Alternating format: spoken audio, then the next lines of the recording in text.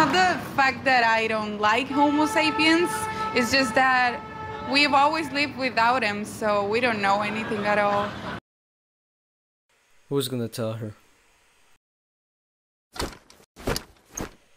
Hmm.